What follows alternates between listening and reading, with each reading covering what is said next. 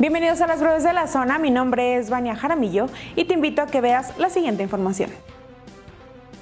Los restos humanos abandonados siguen apareciendo en las colonias de los alrededores del Boulevard Aeropuerto en León.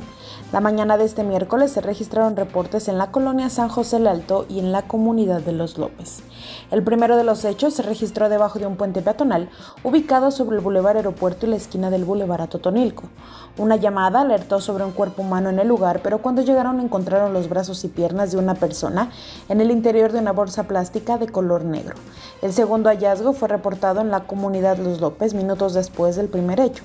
En el interior de una vivienda fue localizado un cadáver desmembrado en una casa en construcción. El hallazgo fue reportado en la calle principal, a casi 350 metros del Boulevard Aeropuerto en dirección a la carretera León-Silao. Estos dos acontecimientos se suman con los tres hallazgos de la noche del martes, donde fueron esparcidos restos humanos en la zona oriente del municipio de León.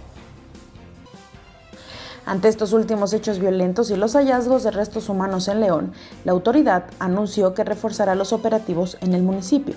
Así lo señaló Olivia Denise García Muñoz Ledo, secretaria de Gobierno, asegurando que esto se refuerza con elementos de la Guardia Nacional, pero también de las fuerzas estatales. La funcionaria reconoció que las cifras de homicidios nuevamente van en incremento, pero aseguró que el trabajo se mantiene desde las mañanas en las reuniones con seguridad.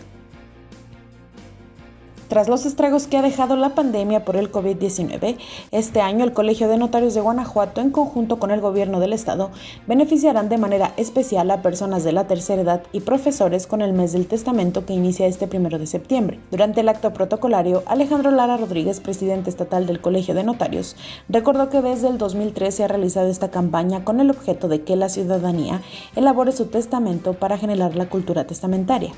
La secretaria de Gobierno, Olivia Denise García Muñoz señaló que esperan aumentar el número de personas que se beneficiarán con los descuentos, que de forma general han ido en incremento. Tan solo el año pasado se alcanzaron más de 11.000 testamentos. Para esta ocasión el costo general es de 2.300 pesos, pero para adultos mayores y maestros se aplicará un descuento, por lo que el costo final quedará en 1.060 pesos.